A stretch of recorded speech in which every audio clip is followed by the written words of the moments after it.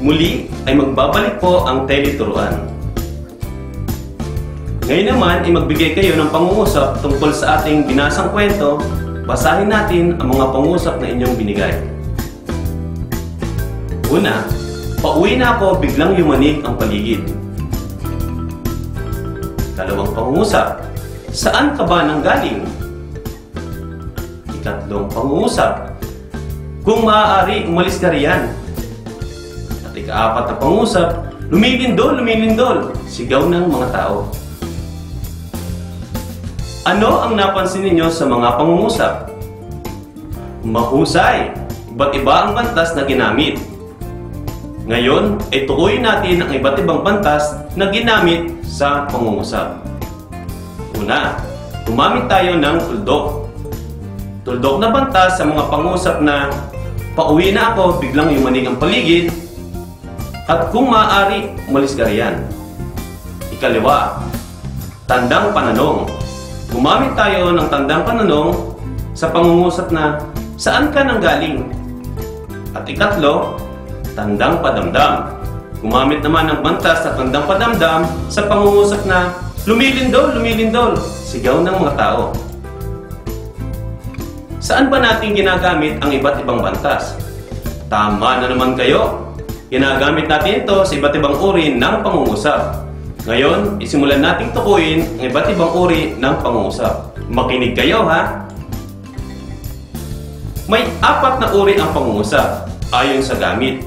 Maaaring nagsasalaysay, nagtatanong, naguutos, o nakikiusap at maaaring nagsasaad ng matinding damdamin. Una, paturol o pasalaysay. Ito ang pangungusap na nagsasalaysay. Nagtatapos ito sa tuldok. Halimbawa, magalang niyang kinausap ang kaniyang ina. Dalawa, patanong. Ito ang pangungusap na nagtatanong. Nagtatapos ito sa tandang pananong. Halimbawa, saan ka ba nang galing? Tatlo, ito ang pangungusap na naguutos o pautos. Tinatawag itong pakiusap kung nakikiusap, pareho namang nagtatapos ito sa tuldok. May kasamang paki o kung maaari ang nakikiusap na pangungusap. Halimbawa, ng pautos na pangungusap, tawagin mo na ang mga bata. Halimbawa naman ng pangungusap na pakiusap, kung maaari, umalis ka riyan. Pakidala mo nga ang mga aklat ko. Padamdam, ito ang pangungusap na nagsasaad ng matinding damdamin. Nagtatapos ito sa tandang padamdam. Halimbawa, lumilindol, lumilindol, sigaw ng mga bata. Ngayon, ating alamin kung inyo talagang naunawaan ang ating aralin ngayong gabing ito. Piliin sa kahon ang wastong bantas dapat gamitin sa pangungusap. Ilagay ito sa patlang. Narinig mo ba ang malakas na tunog? Tama! Gumamit tayo ng tuldok sapagkat ang pangungusap ay nagsasalaysay. Tawagin mo na ang mga guro. Gumamit tayo ng bantas sa tuldok sapagkat ito ay naguutos. Sunog, sunog, sigaw ng mga kapitbahay. Gumamit tayo ng tandang padamdam sapagkat ito ay nagpapakita ng matinding damdamin. Paano kaya ang iba nating mga kamag-anak? Magaling! Gumamit tayo ng tandang pananong sapagkat ito ay nagtatanong. Kalima, padama natin ang pagmamahal sa kanila. Magaling! Gumamit tayo ng tundok sapagkat ito ay nagsasalaysay. Laging tandaan ang iba't ibang bantas ay ginagamit ayon sa uri ng pangungusap. Paturol o pasalaysay, ito ang pangungusap na nagsasalaysay. Nagtatapos ito sa tuldok. Patanong, ito ang pangungusap na nagtatanong. Nagtatapos ito sa tandang pananong. Pautos, ito ang pangungusap na naguutos. Tinatawag itong pakiusap kung nakikiusap. Parehong nagtatapos ito sa tuldok. May kasamang paki o kung maaari ang nakikiusap na pangungusap. Padamdam, ito ang pangungusap na nagsasaad ng matinding damdamin. Nagtatapos ito sa tandang padamdam. Oras na muli para masukat ang inyong natutunan sa ating aralin. Handa na ba kayo?